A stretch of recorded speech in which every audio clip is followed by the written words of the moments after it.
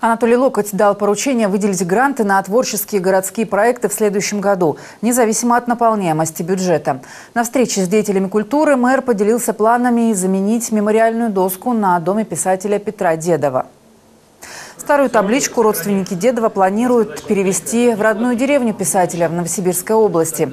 Эскиз новый представят на худсовете. Обязательство изготовить и разместить доску на себя берет мэрия. В городе продолжат поддерживать и творческие сообщества и объединения. Так, для театра на Левом берегу и театра под руководством Афанасьева нашли за последние годы новые стены.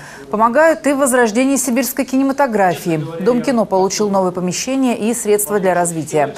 Представители творческой интеллигенции, в свою очередь, выразили поддержку мэру на предстоящих губернаторских выборах.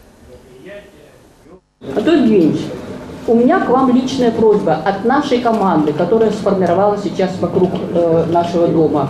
Э, баллотируйтесь на э, губернатора. Потому что тогда мы, тогда мы вот эту, вот эту, как называется, выстроенную нами ну, линейку, а у нас еще, еще один, ну, Папанинцы на Альгине в Доме кино, а там еще Папанинцы в кинопрокате областном.